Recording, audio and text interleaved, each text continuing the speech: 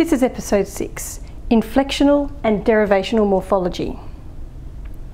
As we learnt in the last video, there are going to be three aspects of each word class that we will look into to determine what word class each word belongs to. These are semantics, what the word means, morphology, how the word changes, and syntax, how the word fits in a sentence. When we look at the morphological features of a word class, these features can be divided into two types. Inflectional morphology and derivational morphology. So inflectional morphology refers to a functional or grammatical change in the word.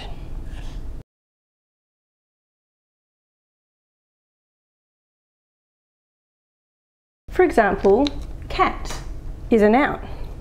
If we have more than one cat, then we add an S and we say cats. This S that we're adding onto the back of S is a grammatical change. It's telling us that there is more than one. So that's an inflectional morphological change. Derivational morphology, on the other hand, refers to changes that can be added to words to define their word class or to change their meaning. It derives from the original meaning or the original word class.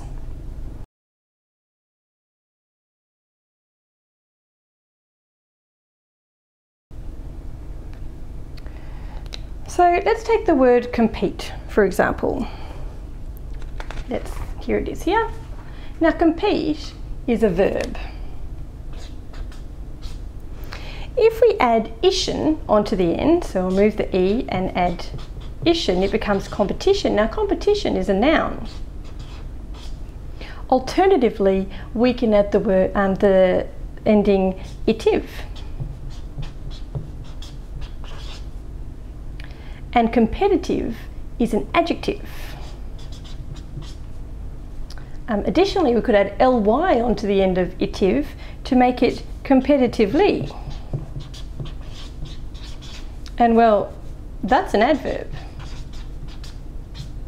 So all these endings are changing the class of the word from a verb into something else. So these are derivational morphological changes. They don't have to go at the end. Derivational morphological changes can also go at the beginning. For example, I might also write the word super or super competitive.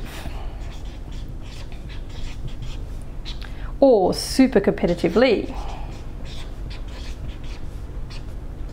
Now what I've done there is I've changed the meaning from competitive, where someone is competitive, to someone being super competitive or really competitive. So I've actually altered the meaning of the word a little bit. I've put um, a morphological change at the beginning of the word and I have changed the meaning of the word a little bit. So this is also a derivational change that's coming at the beginning. It's not changing the word class, but it is changing the meaning of the word.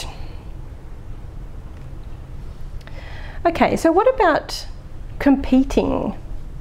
So let's add ing onto the end of this. Is this a derivational change or an inflectional change? Well, I'm going to say yes to both, I think. And that's because ing can be the gerund, which is a type of noun. For example, competing is something she takes very seriously. In that situation, competing becomes a noun. And if that's the case, then we're putting on a derivational change. However, I might be adding ing on to show the progressive form of the verb, such as she is competing tomorrow. Now in that situation, it's not a derivational change, it's actually an inflectional change. So in this situation, you can clearly see the difference between a derivational and an inflectional change just based on the other um, important syntactic semantic um, features to see whether it's acting as a noun or whether it's actually changing and acting um, as a verb, continuing to act as a verb with a different grammatical change. Let's take a look at a few other examples to make sure that we understand. So can we identify whether the morphology underlined in these examples are inflectional or derivational? So let's give it a go. I jumped into a puddle this morning she is an environmentalist. This is unbelievable. I have John's umbrella. Emma goes to school. All right, so let's start with ED on jumped. So this is telling us that it happened in the past. So this grammatical change of it didn't happen regularly, it doesn't happen regularly, it happened in the past. So this is an inflectional morphological change because it's a grammatical, um, telling us something grammatical about the sentence. Okay, number two, she, has, she is an environmentalist. So the environment, I'd say, is our root word here. So if we add al onto that, it becomes the adjective, an environmental problem. And if we add ist onto the end, it becomes a noun again, but it's specific to being a person. So I think both of these are derivational changes, changing to the adjective and then changing to a noun, a person. Okay, this is unbelievable.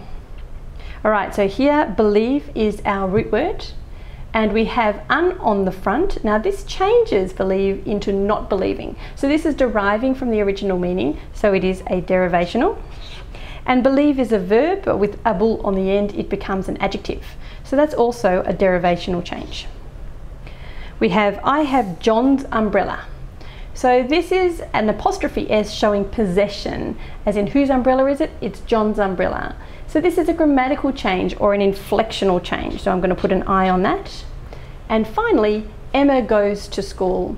In this situation, the ES on goes is making sure that the third person goes is reflecting Emma. So it's a grammatical or an inflectional change. So let's pop that there. And that's the distinction between inflectional and derivational morphology. And so I think we're finally ready to jump in and begin to explore our word classes in depth. And we're going to begin by looking at nouns. So until then, thanks for watching the language code.